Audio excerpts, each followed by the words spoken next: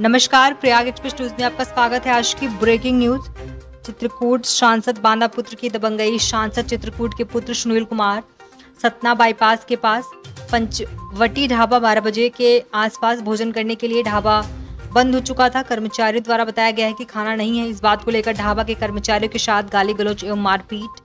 सांसद पुत्र के द्वारा एवं उनके साथ तीन चार व्यक्ति और भी थे, जिन्होंने कर्मचारियों के साथ मारपीट, गाली गलौज एवं ढाबा में तोड़फोड़ की।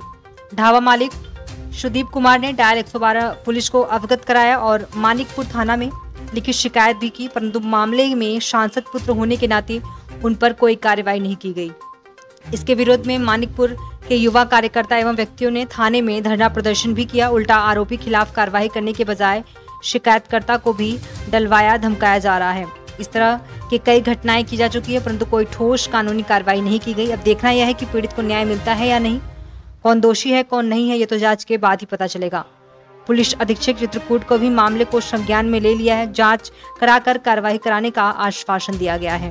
प्रयाग एक्सप्रेस न्यूज़ से बद्री विशाल सिंह की खास रिपोर्ट। सांसद के आदमी थे, वो लोग घुसे यहाँ से दरवाज़ा में बोले, करे मादर दो दरवाज़ा खोलो भोसड़ी वालो।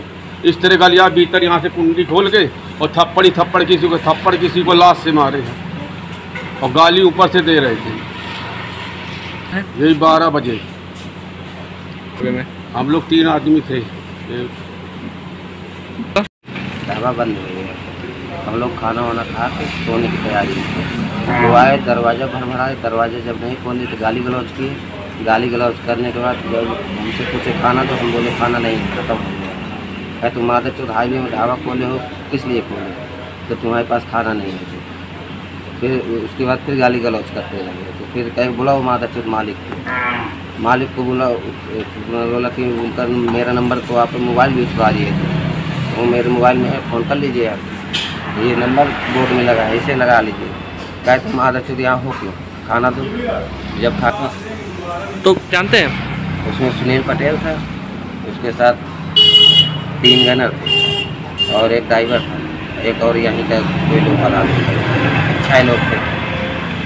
तो मोना पांडे। करीब साढ़े ग्यारह बजे। यहाँ करीब बारह या बारह पाँच या बारह पहले ही अंदाज़ा इसी टाइम में वो लोग लड़के मुझे बताएँ कि फॉर्चूनर गाड़ी से सुनील पटेल अभिलाष सिंह पटेल और उनके दो पुलिस वाले गनर एक प्राइवेट गनर और ड्राइवर आके यहाँ पे दरवाज़ा खुलाए।